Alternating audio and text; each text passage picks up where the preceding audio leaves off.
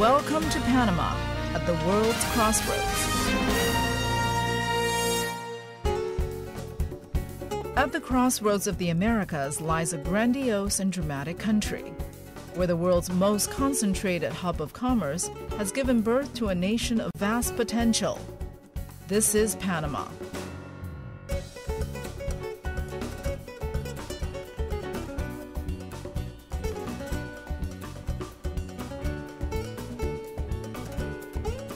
The Republic of Panama covers 47,000 square miles.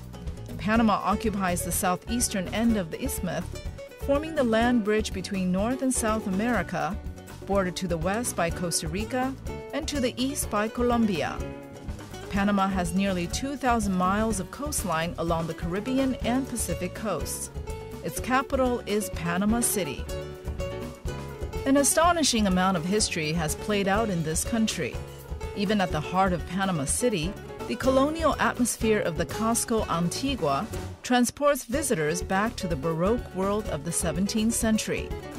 Panama Viejo, the well maintained ruins of the original city, is the oldest European settlement on the Pacific coast of the Americas. And because of the country's important role in world commerce, Panama City is far more cosmopolitan, open minded, and outward looking than other Latin American cities.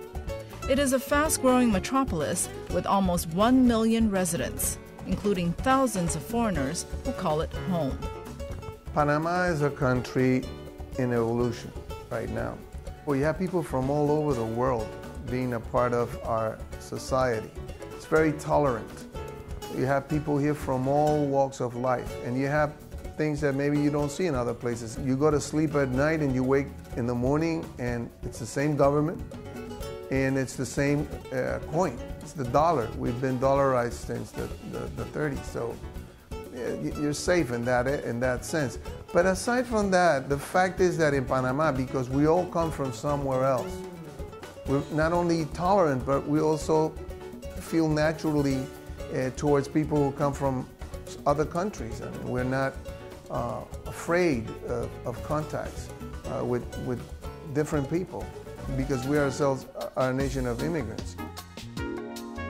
Panamanians are predominantly Roman Catholic, but the one faith that draws all people together is business. Panama's nominal gross domestic product in 2008 was 23 billion US dollars.